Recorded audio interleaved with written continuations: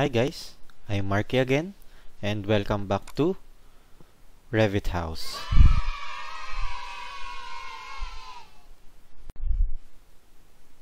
So, creating Revit family. What are the basics and what are the important things and or elements that we need to know when building a Revit family? So, to start up, we need to click the new file here and select a category or we just need to click the application menu and the new family. So those two are just same thing. So it's up to you guys what you wanted to to choose from. So yep. So this is our uh, new family uh, templates. These are pathed already to the metric. By default Autodesk is pathed under English I English I is the imperial templates of Revit. So be careful on this. Make sure that you are pathed correctly to the to the correct template that you are using. So here in Singapore, we are using metric. So I need to use the English folder which contains our metric template. So you will be prompted by this window with bunch of categories. These are all Revit categories. Revit family is very uh, organized in terms of categories. So a casework is a casework, a door is a door, and so on and so forth. So you have to choose carefully what category or a family are you building in. So there's also a generic model, so-called generic model, that are used for those elements that are not really uh, categorizable if there's such a word. So it's uncategorized that you don't know what to choose from. So you can use the generic model for it. Okay. So maybe we could start up with our generic model. So let's open up our metric generic model to study what are the elements inside the Revit family. So yeah. Let's click open to open the metric generic model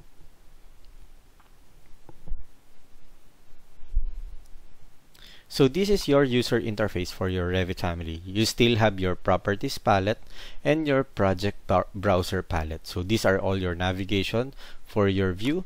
You can see you have your floor plan as default, ceiling plan, one 3D view, and four elevations. Okay, then you will, on the drawing plane, you will be provided by these two lines called reference planes. So this reference plane has a name, which is center left right, and center, front, back. Later, we will discuss it more. Then, you will have also your ribbon and your ribbon tabs. So, ribbon tabs, we are limited to create, insert, annotate, view, manage, add ins, and modify. So, under create, you will have your ribbon panels and your forms, your model text, M&E tools, reference line and reference planes, and so on and so forth. You still have your quick access toolbar, option options bar and you still have your uh, status bar and your view control uh, tool. Now we're gonna start to build our Revit family. To start with, we need to have some reference planes. So reference plane is found from the create ribbon tab and the datum panel.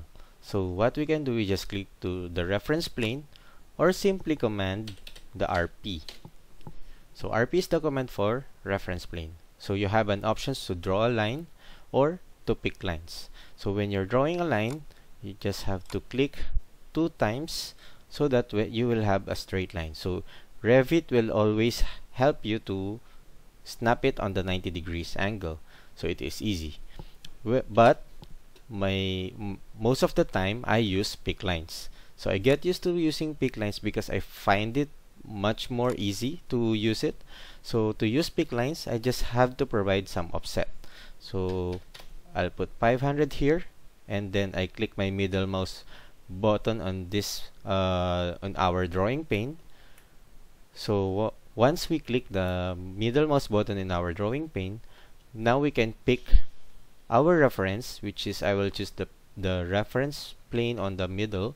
Then I'll just have to create one on the left and one on the right.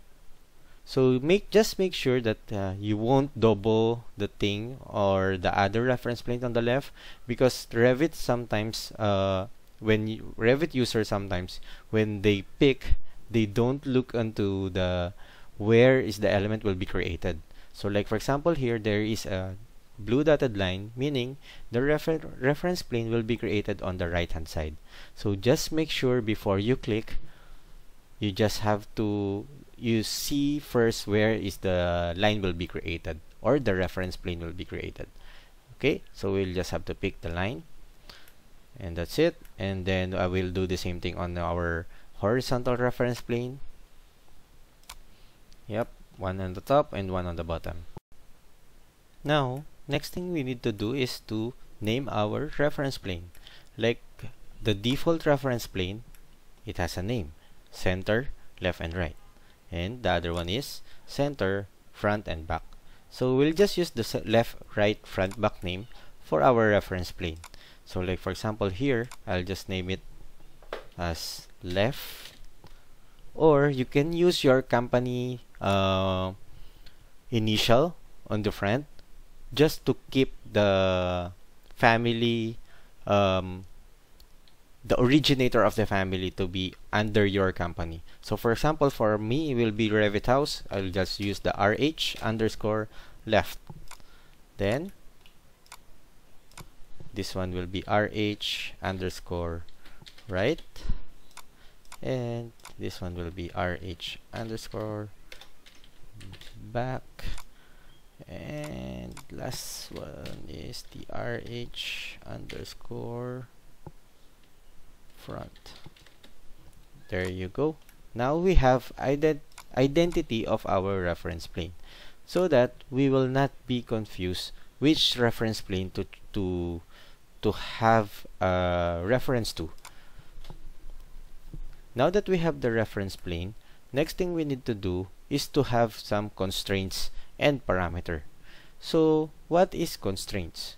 Constraints is the defining relationships and interdependency between elements. So one example of uh, constraints is by using dimension constraints. So how to do dimension? Either you click the the one from our quick access toolbar dimension or simply command di. So how to do dimensions in Revit? In our family, we just have to pick parallel lines. So for this for this case, we need these three lines to be picked continuously. So 1, 2, and then 3. So then to finish the command, you just have to click anywhere, position your dimension where do you want to position, then you click, you pick your mouse on a blank space. There you go. So once pick, there's some constraints that are already visible in our dimension. We have the lock constraints, which are this padlock, and the equalization constraints. So equalization constraints uh, we'll show it how it works, but for now, we just have to click our equalization constraints to toggle it. So there you go. Now we have our equalization constraints. So how equalization constraints work? So for example, we just need to escape escape to cancel the command. For example, I need to move this reference plane. So when I move it, yes, you can see the left hand side of our reference plane of our family is moving as well so that's how equalization work whatever happens to this reference plane will also apply to the other reference plane. So that's how relationship of constraints of element works using constraints. So we have a few more constraints that we are going to use uh, with our family discussion. So we'll just have to slowly build and uh, see what are the other constraints that we're gonna use. Now we just have to have an overall dimension so command di and pick the left and the right reference plane. Then pick position your dimension and pick anywhere uh, in the blank space. Yep. Then we'll do the same thing on our uh, horizontal reference planes or the front back reference planes. So we'll just do the equalization. There. Then click the equalization. And then I'll click the overall. There you go then escape escape to cancel the command. Then we will give um, assigned parameters to our overall dimension. So we click our dimension the overall dimension and then up here we will have the label. So under label we can create a new parameter. So by right most of the family uh, different family have different default um, parameters. So generic model is a family that doesn't have a default parameter so we have to create our own parameter. So I have to put the the window dialog box parameter properties dialog box to for you to be able to see what will happen to the 1400 so when I, when I click our parameter or create new parameter tool up here this will be prompted and then we will just have to name our parameter. So in naming parameter the only thing that are not allowed or the most thing that are not allowed are the um, the dash or the hyphen the of course the plus and the asterisk and the slash because those are the symbols for our uh, for our multiplication, division, addition, and subtraction. So when we are naming our family parameters, we have to be careful. We have to be careful. For example, you want to put your company initial in in your parameter. You you either use underscore or spacebar. So don't use dash because it will Revit will read it as RH minus width. Okay? So we'll have to use either space or underscore. So for me, I'll always use I always use underscore. So RH underscore width and I will assign it under group parameter under dimensions and type parameters. Soon we will discuss or uh, have um, emphasis on the difference with the type parameters and an instance parameters. So we'll have we'll just have to click OK. Yep. And then now we have the RH width. So most of the time when I build a family, the horizontal uh, the dimension, I always put it as a width. And then the vertical dimension here will be the uh, depth. So we'll do the same thing. Click the dimension and click the create parameter under label. So we'll just have to create rh underscore depth. Okay? Also under group parameter dimensions and a type parameter. There. So now we have the two parameters that we we have which is the rh width and the rh depth so when we use the width uh, when we assign the parameter, we also need to flex it. We don't have any element yet, but we still need to flex our parameters so that we will know that this will this parameters works. So what we can do is we click under properties panel here. We can just click this family types dialog box. So I'll just have to cancel this first. Then this family types prompt eh, or dialog box will contain our parameters. So we have our RH depth and RH width.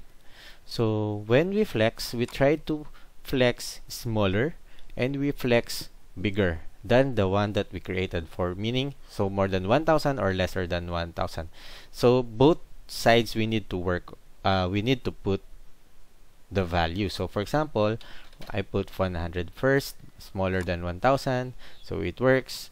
Then I put 2500 then I click apply so it also works. Then I'll go back to my 1000 value. I click OK yes it works then for the width we'll just have to let's say 100 apply. So it's working. And we go 2500 apply. Yep and it's working. Then I'll just maybe I'll settle with 1500 apply. Then it's all good. Then we click OK. Now we have two parameters. Of course these are the X and Y parameter. We also need the Z parameter which is the height. So for us to be able to create the height parameter we need the uh, elevation view. So most of the time I'll go to front elevation. So here in our front elevation we just have to zoom extent. Zoom extent is ZE okay? So ZE so it will zoom extend to our uh, elements now we just have to create our reference plane. So from the reference level we just have to create our new reference plane. Then I'll have to pick lines. Then maybe I'll put it about um, 2000 then I'll pick here there. So I'll name this reference plane top. Okay? So in this case I will not create a center of the height. I will just keep the top portion of the height. So then I will provide dimensions. So I will provide dimension for the height. So I click the reference plane. So at the bottom there's there are two elements one is a level which is reference level. And when I tab it it's a reference plane reference. Okay? So there are implications on clicking the reference level and the reference plane. So what I usually do is I click the reference plane. We will see later what is the difference by clicking reference plane and by clicking level. So for now, I will click the reference plane. There you go. Then I'll put a parameter of RH height under a type parameter and under a group parameter dimensions. So what is that group parameter? Actually, that one is when I click family types, this one this is the one that uh, the grouping or uh, the arrangement of the of your parameter so you can group it okay I'll just click close or maybe I'll go back to family types and flex our height. So flex our height maybe about 100 apply. So it's working. Um, 3000 apply. Yep. And I go back and settle to the 2000 okay? So this parameter you can arrange it. So if you want to have the width first depth and height then you can just click the width and move it upward. So move up there width depth and height. In case you have a misspelling you can just click the modify. You can always click this and then modify or transfer it under different group or yeah. So either plumbing facing other yep. Then click OK. Okay then we just click OK then there you go we have our reference plane set up now we, next will be the form